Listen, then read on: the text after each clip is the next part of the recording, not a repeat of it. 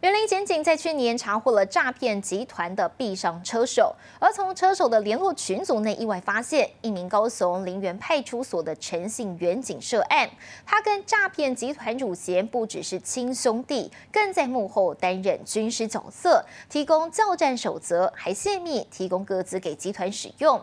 警方追查，他们每个月的诈骗金额高达五千万，而经过分赃，每人每月至少是月入两百万。警方大阵仗冲进民宅，里头好几名的诈骗车手眼看来不及逃，个个爆头，趴地投降。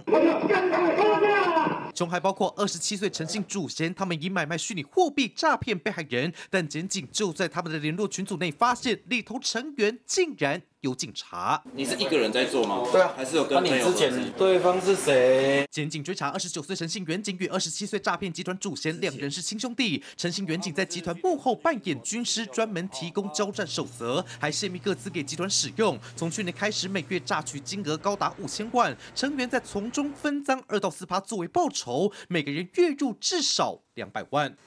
靠在女友身旁庆祝交往六周年，或是参加喜宴和兄弟们勾肩搭背，留着一头卷发的男子就是高雄林园派出所的陈姓远警。平时加入慈善会热心公益，私下的他开百万名车代步，女友生日还阔气送上将近十六万的名牌包，生活过得极度奢华。从一百一十二年开始侦办后，已陆续。期货成员二十几名，至于诈骗金额，目前还在统计中。现在被逮的八个人，经过漏夜侦讯，包括陈姓远警和远警弟弟在内，一共四个人犯嫌重大，通通被当庭逮捕，生涯获准。而陈姓远警严重破坏警誉，高雄市警察局也祭出两大过，将他免职。借国正义云林参导。